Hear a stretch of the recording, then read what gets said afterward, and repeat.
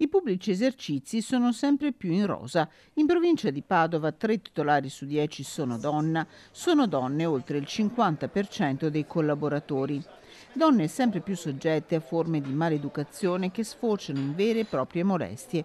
Da qui la realizzazione di un corso di autodifesa preparato in collaborazione con la questura con personale della polizia. I pubblici esercizi sono aperti 24 ore su 24 a turno, è sempre una luce accesa in ogni quartiere, per questo abbiamo anche noi bisogno di una sicurezza. Ecco perché per fortuna è il primo passo concreto nella difesa nostra.